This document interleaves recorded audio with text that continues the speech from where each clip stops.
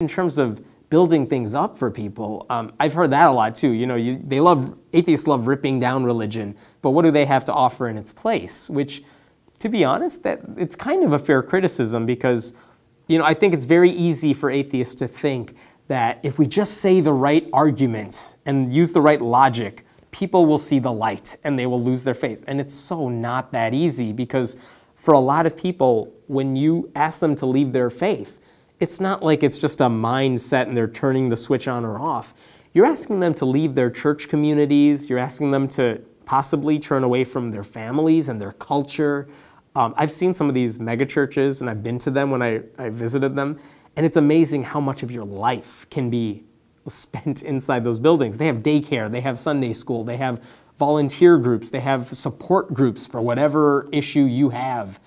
And you're asking people to leave all of that. So unless we can offer something in its place, we're not really giving them the incentive to just follow the logical conclusions.